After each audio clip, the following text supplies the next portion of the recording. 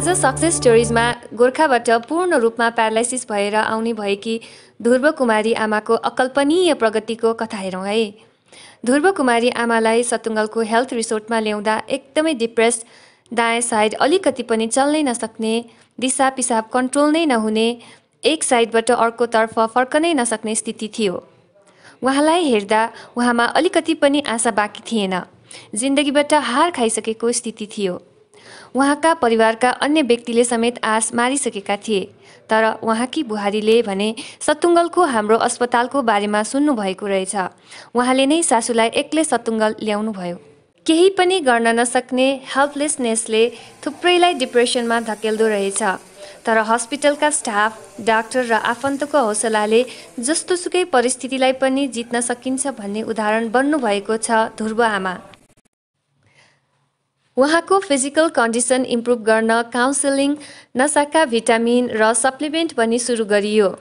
केही दिन उहाँलाई कोल्टे फेर्न र आफै बस्न सक्ने बनाउनै केन्द्रित रह्यो। त्यसपछि उपचार उहाँको हात र खुट्टाको पावर बढाउन केन्द्रित भयो।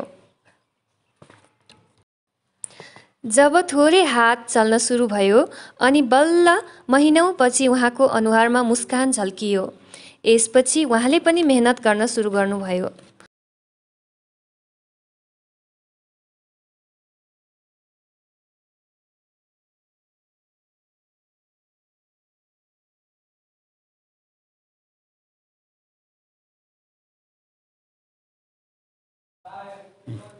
हामीले उहाँलाई खाना खाँदा समेत मेहनत गराइरहन्थ्यौँ।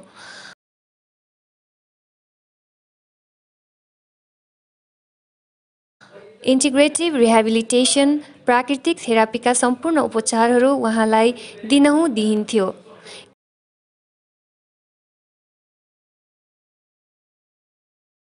केही हप्ताको अनवरत मेहनत ब्ल्याडर थेरापी र ट्रेनिङपछि पिसाब रोक्न सक्ने भएपछि उहाँको क्याथेटर निकालियो।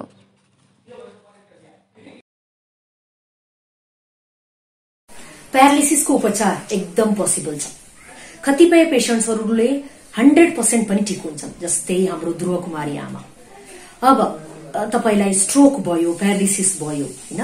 अब कतिपय केसेसहरूलाई आइसियुमा लानुपर्ने हुन सक्छ त्यसपछि त्यहाँबाट रियाबको लागि थेरापीको लागि एक्सर्साइजको लागि भनेर रेफर गरिन्छ। अनि थुप्रै पेसेन्ट्सहरूले के गर्छन् भने घरमै लान्छन्। अब घरमै एक्सर्साइज गर्यो यताउति गर्यो बिगारिदियो होइन? थुप्रै पेसेन्ट्सहरूले के गर्छन् भने नजिकतै त्यो कोरियन थेरापी बन्यो त्यति करेन्ट लाएर सुतायो। कोही त फ्रीमा थेरापी भनेर आजकल धेरै ट्रेन्ड चलिरहेछ। त्यस्तोमा लग्यो। त्यस्तोमा अब एक दुई महिना तीन महिना कोही पेसेन्ट्सहरू छ महिनासम्म त्यहाँ लान्छन्। अनि त्यसपछि सुधार आउँदैन। त्यस्तो हुँदाखेरि पेसेन्ट्सको ट्रिटमेन्ट पनि धेरै ढिला भइसक्छ होइन? त्यस्ता पेसेन्ट्सहरूमा इरिभर्सिबल कन्ट्राक्चर्स भइसकेको हुन्छ। त्यसलाई ठिक पार्न गाह्रै हुन्छ होइन? त्यही भएर तपाईँहरूलाई यस्ता केही रियाबको लागि पठाएको छ भने तुरन्तै लिएर आउनुहोस्। हामी कहाँ इन्टेग्रेटिभ एप्रोचबाट हामी ट्रिटमेन्ट गर्छौँ। यस्ता बिरामीहरूलाई चाहिने सबै उपचार यहाँ छ।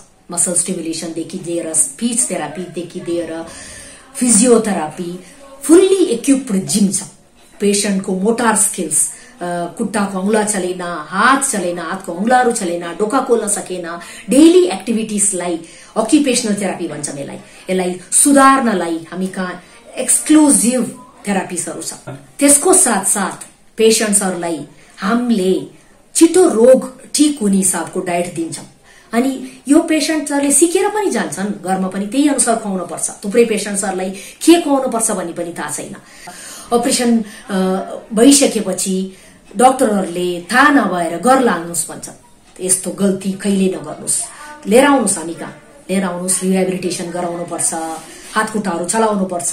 एक्सर्साइजहरू छ मसल स्टिमुलेसन छ अक्युपन्चर छ यस्ता थेरापीहरू गराउँदाखेरि चाँडै पेसेन्ट हिँड्न सकिन्छ। तपाईँ घर लाँदाखेरि त्यो घर राख्दा राख्दा बिग्रिन्छ। एट्रोपी हुन्छ मांसपेशीहरू सुक्दै जान्छ। त्यसपछि ठिक भएन भनेर छ महिनापछि हामी कहाँ लिएर आउँदाखेरि त्यो ढिला भइसक्छ। त्यो पेसेन्टलाई एक दुई वर्षसम्म पनि भर्ना राख्नुपर्ने हुनसक्छ। त्यही भएर हस्पिटलबाट डिस्चार्ज हुने बित्तिकै छिट्टो लिएर आउनुहोस्। यो एक प्यारालाइसिस बिरामीको कथा मात्र होइन। यसमा उहाँको उहाँको बुहारीको हाम्रा डक्टरहरू थेरापिस्ट एकिपन्चरिस्ट र नर्सहरूको पनि उत्तिकै मेहनत छ। यो एउटा टिमवर्क हो। इन्टिग्रेटिभ रिहेबिलिटेसन भनेकै psychological approach physical approach mental approach natural approach यो रोगलाई राम्रो गर्ने थुप्रै चिकित्सा विधिहरू थेरापीहरू एकै ठाउँमा अन्डर वान रुफ दिने प्रक्रिया हो। यसैलाई इन्टिग्रेटिभ एप्रोच भनिन्छ। अब थुप्रै बिरामीहरूले निरन्तर रूपमा लाग्न सक्नुहुन्न। अब ध्रुव आमाको केसमा उहाँ निरन्तर लागिरहनु भयो उहाँलाई ठिक हुन एक वर्ष लागेको छ एक वर्षको मेहनत लागेको छ एउटा मुडो जसरी यसो तल माथि नै गर्न नसक्ने थोरै पनि हल्लिन नसक्ने बिरामी अहिले दौडिन सक्ने हुनुभएको छ सम्पूर्ण काम गर्न सक्नुहुन्छ। अहिले त बोली पनि फर्केको छ। त्यो कसरी भयो भन्दाखेरि निरन्तरको उपचारले सम्भव भएको थुप्रै बिरामीहरू निरन्तर लाग्न सक्नुहुन्न। दुई चार हप्ता उपचार गर्नुहुन्छ फेरि यो समस्या ऊ समस्या भयो भन्नुहुन्छ जानुहुन्छ थेरापी गराउनुहुन्छ कुनै मेसिनमा सुत्नुहुन्छ यावत यो इन्टिग्रेटिभ एप्रोच नगरी मोनो एप्रोचमा जानुहुन्छ अनि केस बिगारेर फेरि पछि फर्केर आउनुहुन्छ। जुन बेला फर्केर आउँदाखेरि केस बिग्रिसकेको हुन्छ त्यस्ता थुप्रै केसहरू हामीले हेर्ने गर्छौँ। अब तपाईँले के बुझ्नुपर्छ भने तपाईँको बच्चालाई निरन्तर स्कुलमा राखेर पढाउँदा राम्रै पढ्छ कि दुई महिना पढाउने फेरि स्कुलबाट निकाल्ने फेरि तिन हप्ता पढाउने फेरि स्कुलबाट निकाल्ने गरेर राम्रो आउँछ? जबसम्म पास हुँदैन निरन्तर लागिरहन सबै मिलेर प्रेरित गर्नुपर्छ सबै मिलेर मेहनत गर्नुपर्छ। विद्यार्थी मास्टर घर परिवार सबैले त्यो इन्भाइरोमेन्ट क्रिएट गर्यो भने न बच्चा पास हुन्छ। त्यस्तै हो रोग भनेको पनि। सबै मिलेर डक्टर थेरापिस्ट हाम्रो इन्टिग्रेटिभ उपचार पद्धति मात्र होइन तपाईँहरू पनि निरन्तर जब लाग्नुहुन्छ रोग ठिक हुन्छ हुन्छ। अब कहिलेकाहीँ आउने जाने घरि यता जाने घरि उता जाने गरेर रोग चाहिँ ठिक हुन सक्दैन। वास्तवमा ध्रुव आमा जस्ता हजारौं बिरामीहरूलाई हामीले पूर्ण रूपमा ठिक गरेको छौँ। जो निरन्तर लाग्छ पूर्ण रूपमा ठिक हुन्छ। अनि केही महिनाको उपचारबाट थोरै हिँड्ने भएपछि डिस्चार्जको दिन पनि आयो। उहाँले हाम्रो रिसोर्ट नजिकै कोठा भाडामा लिएर ओपिडीमा उपचार गराइरहनुभयो। हुन त यो भिडियो चाँडै सिद्धियो तर यो रोगमाथि विजय प्राप्त गरी जस्ताको तस्तै हुन ठ्याक्कै एक वर्ष लागेको छ। ठ्याक्कै एक वर्षमा उहाँको बोली आवाज पनि फर्कियो। तपाईँको नाम के हो भन्नुहोस् त? कति सालमा जन्मिनु भएको हो? के के भएको थियो याद छ तपाईँलाई? प्यारालाइसिस भयो। यहाँ भर्ना भएको याद छैन? अहिले कहाँ बस्नुहुन्छ? ठाउँको नाम के हो?